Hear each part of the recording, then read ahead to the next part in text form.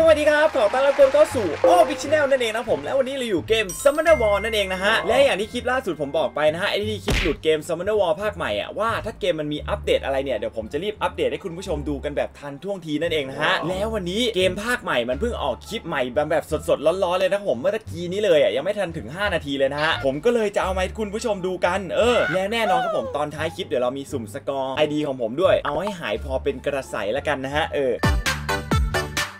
มางั้นเดี๋ยวไม่รอช้าครับผมเดี๋ยวเราไปดูวิดีโอตัวใหม่กันก่อนเลยดีกว่า จัดไปครับผมโอเคครับผมอุ้ย Magic Knight น้ำว่ะ อันนี้น่าจะเป็นตัวแทนตัวเราปะ commander ดีดลมเฮ้ย Archangel นะฮะว้าเรียบร้อยครับผม Summoner War Lost Centuria นั่นเองนะฮะว้าตบมือครับผม อันนี้น่าจะเป็นชื่อเกมของ Summoner War ภาคใหม่เลยนะ เออ จะเห็นได้ว่ามันเป็นคนละตัวกับไอ้ Summoner War Chronicle อะก็คือตอนนี้ใครที่รอเล่น Summoner War ภาคใหม่เนี่ยมันจะมี 2 เกมเลยนะทุกคน 1 ก็คือ Summoner War Chronicle แล้วก็ 2 ก็คือไอ้เกมนี้นี่แหละ Lost Centuria นั่นเองนะฮะ เออ น่าสนใจทุกคน แล้วเมื่อกี้มี Arch แสงด้วย ว่าแล้วว่าพี่ต้องมา นี่นี่นี่นี่มาแล้วทุกคนอ่าโคตรเท่ครับผม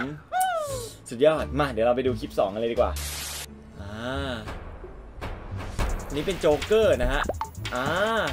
อันนี้น่าจะเป็นโจ๊กเกอร์ในเกมของไอ้ Summoner War Lost Centuria นะ ดูแบบจิตๆหน่อย The New Lushen โจ๊กลม อ่า ไอ้เมื่อกี้น่าจะเป็น gameplay อ้าวจบแล้ว ไอ้ยอะไรจะเร็ว โอเค เมื่อกี้น่าจะเป็น gameplay ของเกมนี้ใช่ไหมทุกคน ไหนดูอีกรอบสิ นี่นี่นี่นี่นี่ใช้ skill อ่าเหมือนโจ๊กในเกมภาคหลักเลยเนอะ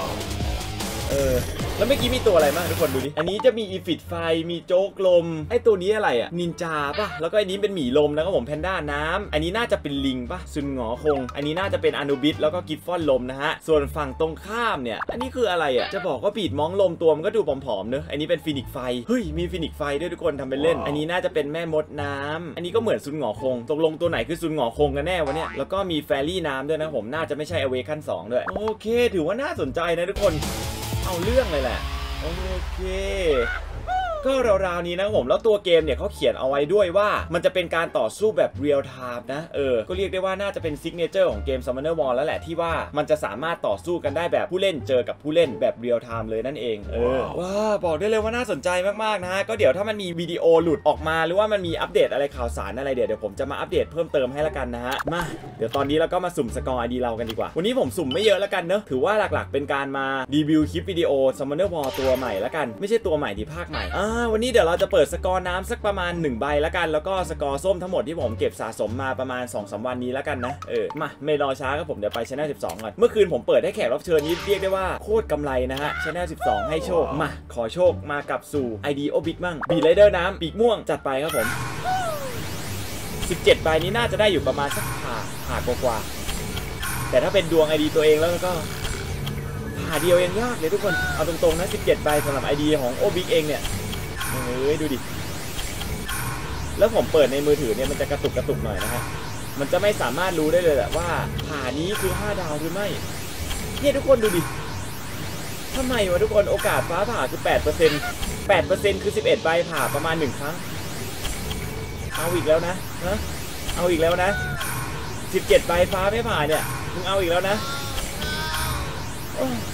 เหนื่อยวะเนี่ยทุกคนดูดิ เนี่ย เนี่ยคือดวงของ ID ตัวเองเว้ย17ใบไม่มีฟ้าผ่า กูผิดอะไรเนี่ย ดูสิ เปิดสกอร์เลเจนด์ฟ้ามันจะผ่าไหม สุดท้ายก็หัวร้อน มา Beast Rider น้ำสามสองหนึ่ง let's go อุ้ยทุกคน กระตุกแบบกระตุกแบบกระตุกแบบสังเกตได้ โอ้แบกเอ้ย ลูกเต่าน้ำ ไม่เป็นไรครับผมทุกคนถือว่าเป็นการเปิดเพื่อ entertain ทุกคนแล้วกันนะเอออย่างน้อยก็ทุกคนน่าจะได้มั่นใจว่ามีคนที่เกลือกว่าคุณนะฮะยังไงก็หวังว่าทุกคนที่ผ่านเข้ามาดูคลิปนี้เนี่ยจะได้มารับชมข่าวสาร Summoner War ภาคใหม่นะผมแล้วก็มาหัวอุ่นๆ เปิด scroll ไปด้วยกันกับโอบิกแล้วกันนะฮะถ้ามีอัปเดตอะไรเนี่ยเดี๋ยวผมจะรีบมาอัปเดตให้ฟังแล้วกัน ถ้าถูกใจหรือว่าชอบคลิปนี้ฝากกดถูกใจครับผมแล้วก็ subscribe channel ของโอบิกันด้วยแล้วอย่าลืมกดกระดิ่งเพื่อรับการแจ้งเตือนเวลามีคลิปรีวิวเกมหรือว่าสุ่มสกอร์แบบนี้ต่อๆไปแล้วกันสำหรับวันนี้ผมขอตัวลากันไปก่อนไงก็ขอบคุณมากครับผมสวัสดีครับครับไปแล้วบ๊ายบายพีซ